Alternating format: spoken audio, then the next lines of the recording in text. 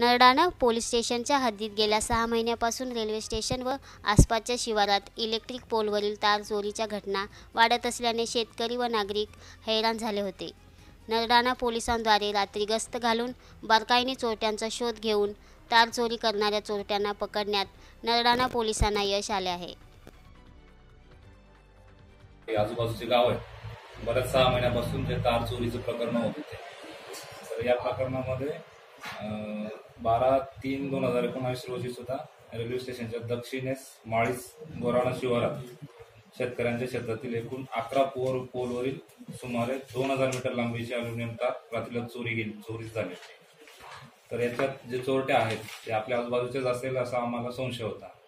त्या संशयावरून आणि गुप्त गुप्त बातमीदारांकडून आपण माहिती घेतली. आणि त्या मा- माहितीच्या आधारे देवा नाना बागुल हा त्या चोऱ्या करतोय म्हणून आपल्याला माहिती मिळाली. त्याच्यावर वॉच ठेवून आपण त्याला चौदा तारखेला चौदा तीन दोन हजार एकोणावीसला ताब्यात घेतलं. त्याच्याकडे चौकशी करून त्यांनी कबुली दिली की किशोर सेना भिल व राजेंद्र उर्फ राजू माहिरे अशांनी मिळून चार ठिकाणी इलेक्ट्रिक पोलवरच्या तार चोरलेल्या आहेत. आणि त्यांच्याकडून आपण जवळजवळ तीस हजार आठशे पन्नास रुपये किमतीचे दोनशे पंचेचाळीस किलो अल्युमिनियम तार जप्त केलेला आहे.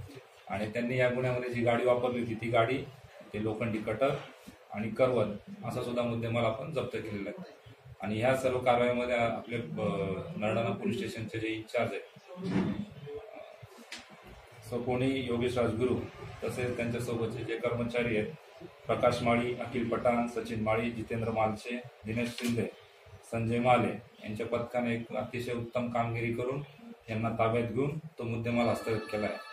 आणि या कारवाईसाठी आपले पोलीस अधीक्षक विश्वास पांढरे असतील आणि अप्पर पोलीस अधीक्षक भुजबळ साहेब असतील. या सर्वांना या सर्वांचं देखील मार्गदर्शन